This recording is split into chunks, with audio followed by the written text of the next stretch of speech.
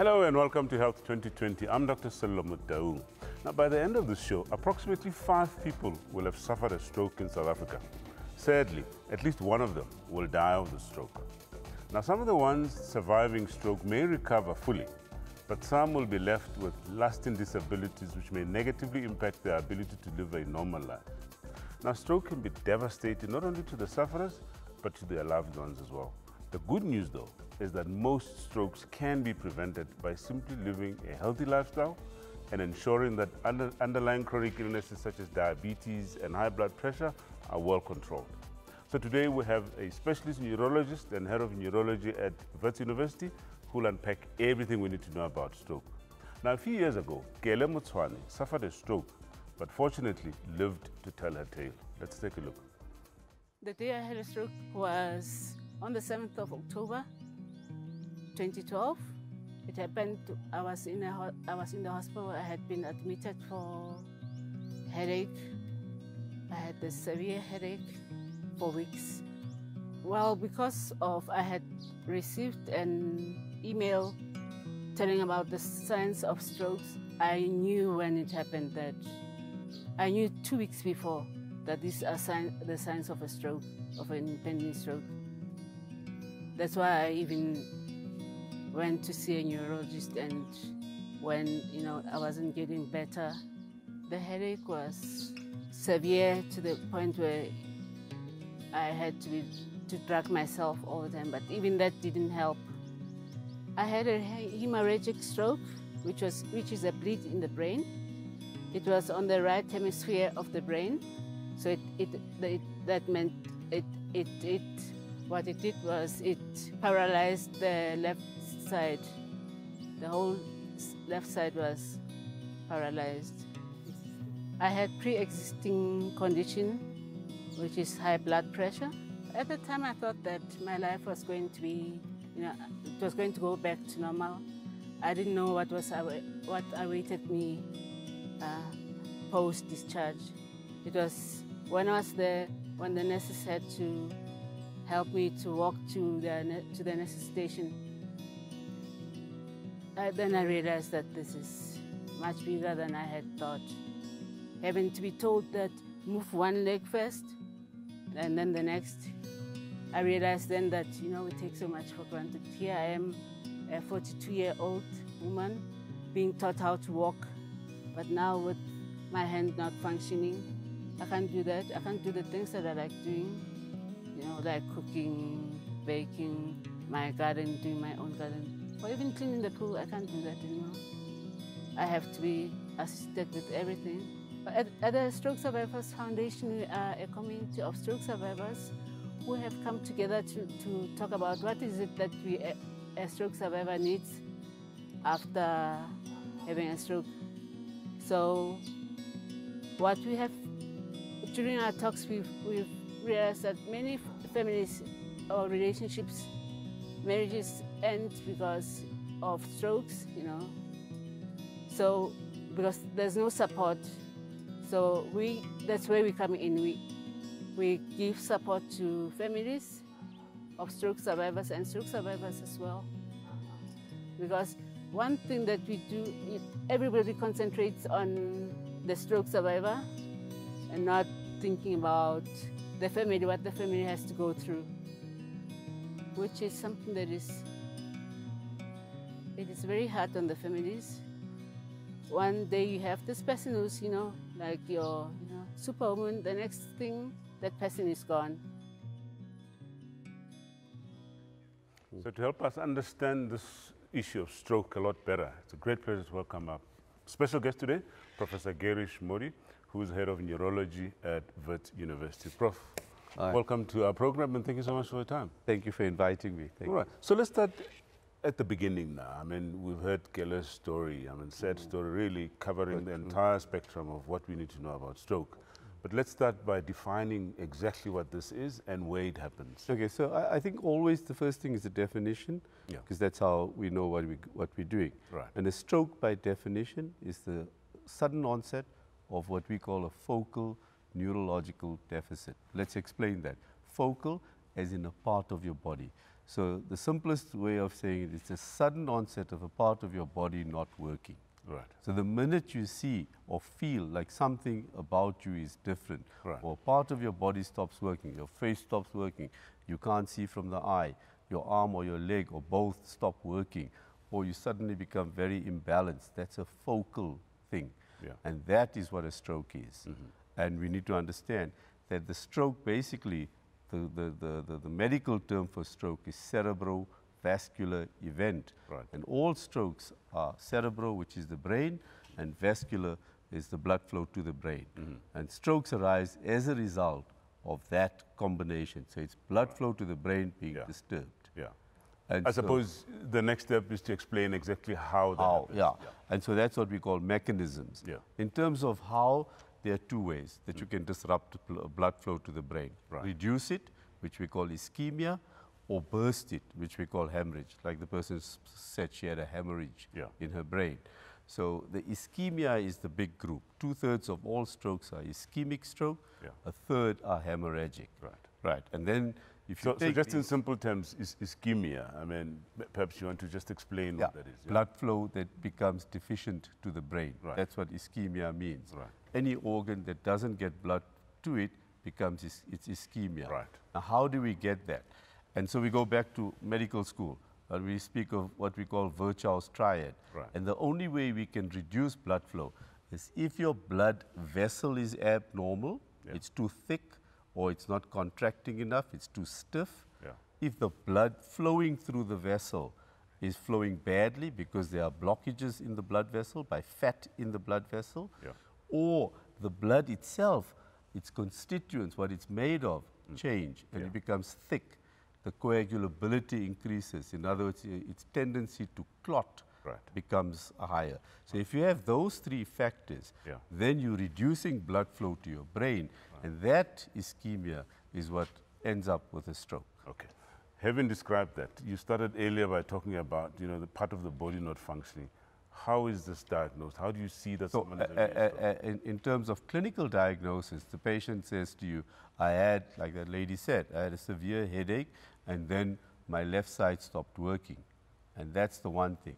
The other important one is sometimes people say to you, I was looking at my husband and I couldn't see half of him. Hmm. Oh, or it might be nice, but it's a bad sign then. Yeah, yeah. Okay?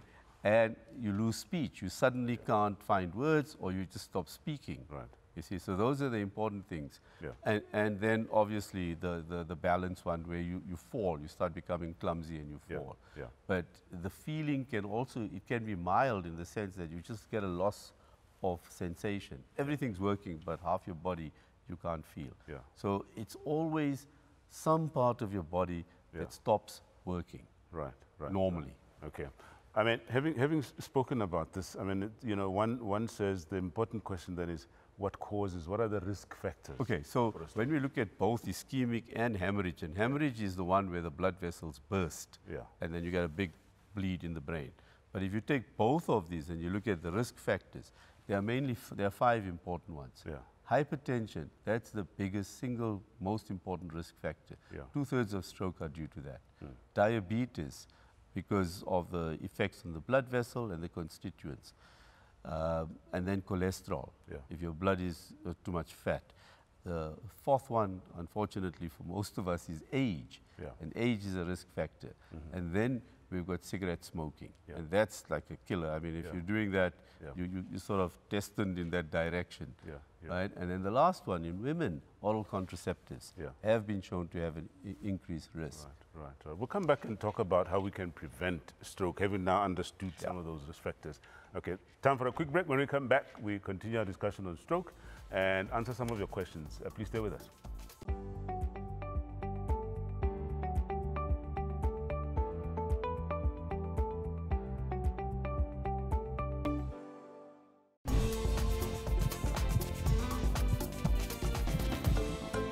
Welcome back. So it is clear that people have different views, knowledge, beliefs, and concerns about stroke. Let's take a look.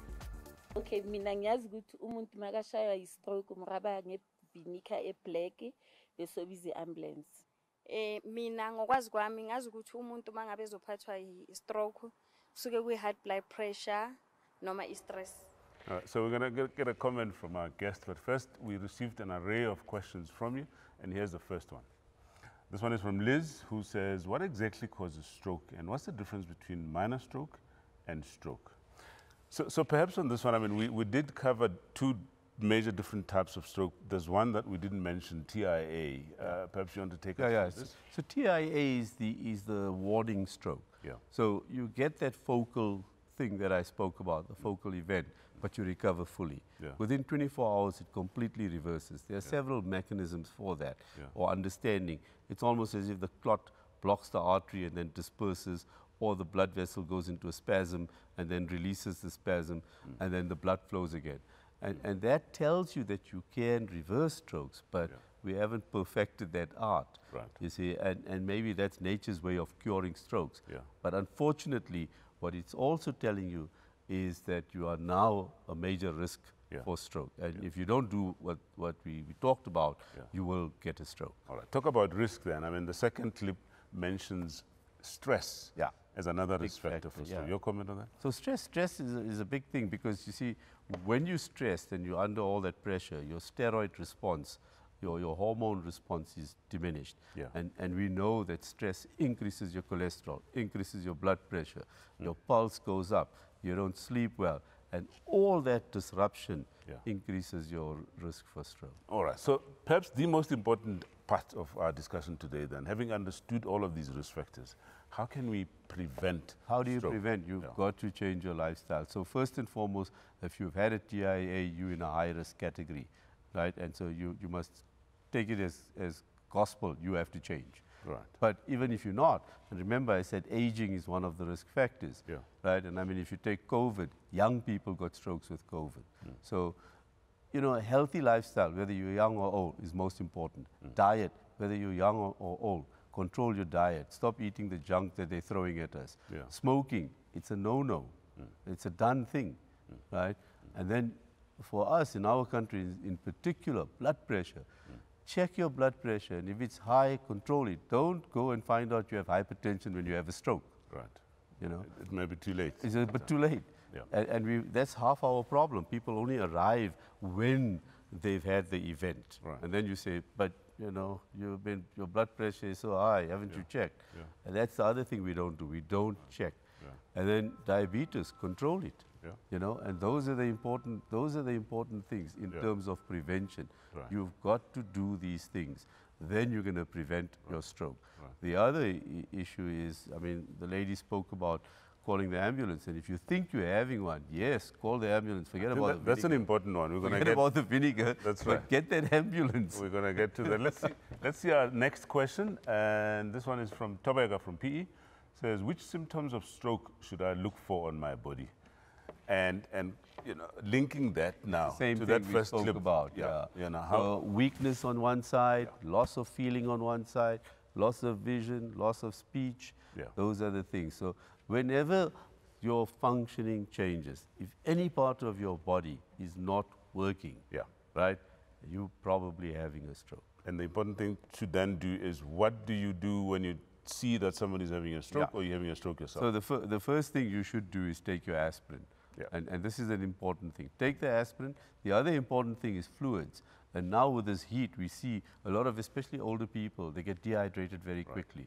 So pour in the fluids. Get the ambulance, or if you're going to get into the car, get to a hospital. as quickly as possible. Yeah, All right. fast. Let's, let's go to the next question. Uh, Matsidiso from Rustenburg. My dad suffered a stroke five years ago, and his recovery has been very slow. Should he get COVID?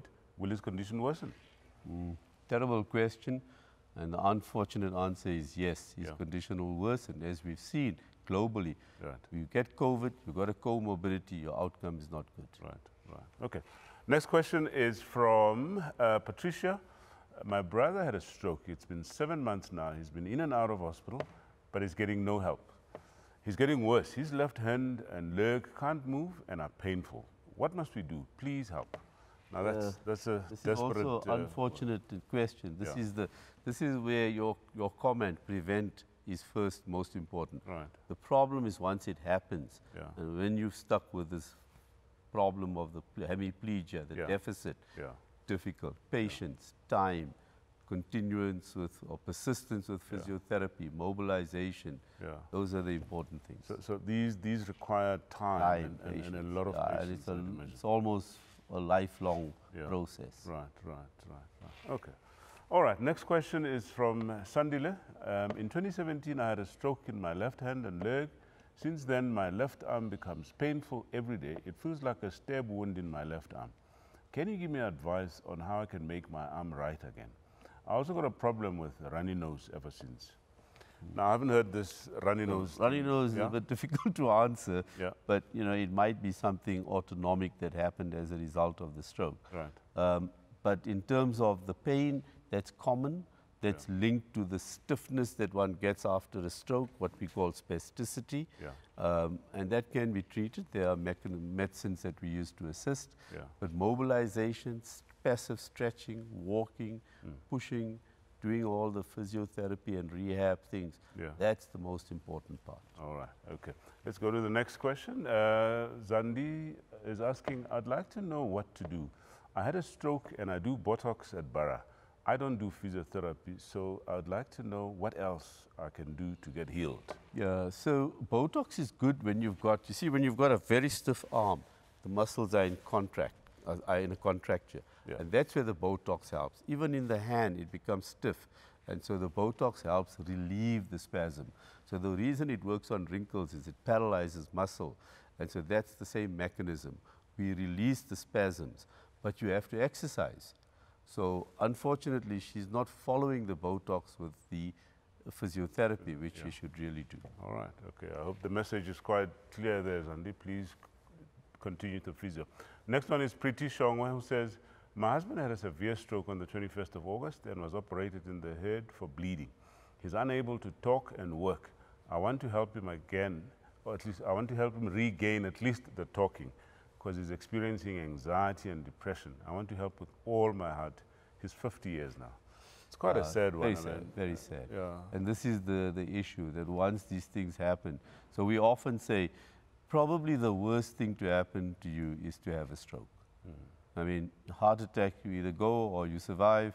Cancer is the same thing. But with a stroke, you live. Once you live, you're stuck with these disabilities and the debilities. Yeah. And so the depression sets in, the anxiety sets in. Mm. And for her patients, time and ongoing rehab. Yeah, yeah. And The- it's, it's a, it sounds like a cop out, but Yeah. that's what we have to offer. I guess the other thing is, you know, the, the long-term effects. I mean, we've spoken about disabilities and so on. Possibility of a second stroke after Yeah, the yeah, yeah, one? yeah. O- Obviously, no, no, but, uh, but very good question, very good point. People don't realize that, and we see this. We often get someone who's had one and comes with another one. They stop. They don't want to quit smoking. Yeah. They don't take their aspirin. Right. They don't control the blood pressure. Again, it's about prevention. About prevention. All right. Yeah. Well, Prof. Modi, thank you so much for your time. It's Thank really been insightful. All right. Um, we're taking a quick break. When we come back, we'll summarize all the important things you need to know about stroke. Stay with us.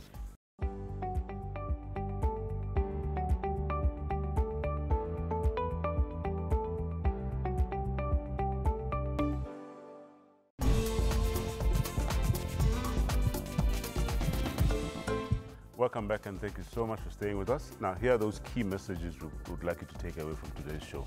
We do know that 90% of strokes can be prevented. If there's anything you should take away from this is that all, almost all strokes can be prevented. And you can prevent this by living a healthy lifestyle.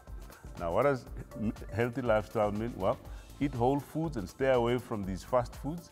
Exercise regularly, maintain a healthy weight. Please quit smoking if you are a smoker and don't start. And of course, reduce stress and alcohol intake. And of course, as you heard, very important to ensure that all these risk factors are well controlled, like high blood pressure, high blood fats, and diabetes. Now, during this pandemic, particularly if you have all these conditions that we mentioned earlier, don't delay your checkup. Please take your medication as prescribed. And if you notice any signs of a stroke, either on yourself or, any, or anyone else, please be fast. Now, what do we mean by be fast? Well, if you notice uh, some balance uh, issue uh, or some blurred vision, uh, if you see something going wrong with the face, one side of the face that's not, you know, the same as the other, or one arm is drooping, or the speech, you know, is getting impaired, please act. Time is of the essence. You need to get the person to hospital within four minutes. Call an ambulance as soon as possible. Now, as we heard, stroke can be quite devastating and uh, you know it can be quite a challenge for not only the person that suffers from the stroke, but their family as well. So um, if you're not doing too well or need some help, please remember the SADAG 24-hour helpline is 0800 456 789. Well, that brings us to the end of our show on stroke today, and thank you so much for watching and uh, for all the questions that came through. Now, remember to continue interacting with us via SMS, WhatsApp, Twitter, Instagram, or Facebook, as displayed on your screen right now. And until next time, please be safe and do take care of yourself.